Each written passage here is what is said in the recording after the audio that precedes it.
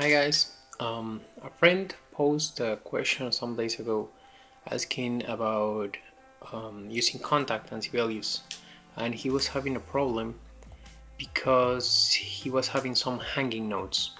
So I tried to help him. I was looking for in forums and everywhere and I was not able to find a solution.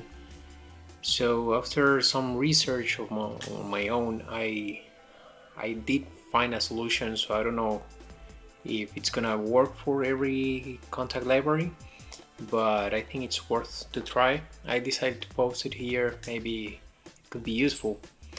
So the only thing that you are gonna need is a full version of Kontakt, not the Kontakt player. So the problem is that when you load Kontakt in Sibelius you put a library in it and you have everything set up you start writing a couple of notes and then this happens. You stop. And there you go. You got some hanging notes there. So what actually it's happening is that Sibelius sends a CC123 message to stop all the, all the nodes but probably in not every library this is implemented so what you need to do is to write that code to the patch. So when Sibelius sends the CC123 it's gonna stop all the nodes. So here's what you're gonna do. You're gonna press here the little wrench. That's gonna open the, the patch all the options that it has the configuration. And here in this corner you're gonna find the script or the code for that for that patch some patches are password protected or, or something like that.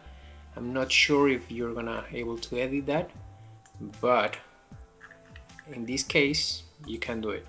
So what we're gonna do is we're gonna press Ctrl A. I think Mac it's something similar to select everything and we're gonna copy all the all the text. Then we're gonna open notepad or any text editor that it's not gonna add many um, stuff like uh, formatting and all those kind of things because that's gonna change the, the code. And then here you're gonna search for you're gonna search uh, this this phrase on controller and right under on controller you're gonna write these these three lines here. If cc num uh, it's 133 you're gonna send a note off to all the events. And we're gonna end the if there. Now we're gonna copy. Or select everything control a copy. And here we're gonna we're gonna change this option and we're gonna put editor patch here.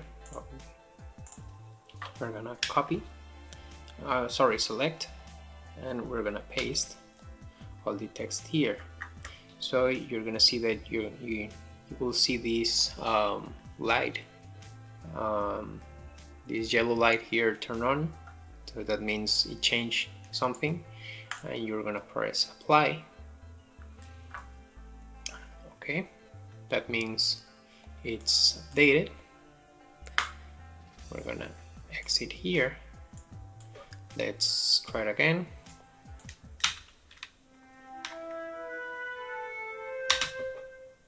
And it works. Okay. And I also suggest that after that you, you press uh, save as. And you save the instrument to any any other place. Maybe you can write a fluid Sibelius so you know that's the patch that you're gonna use for, for Sibelius if you want to keep things intact or if there is any update or anything else later so you don't lose your changes. Okay? Just let me know if this kind of works for you guys. Well bye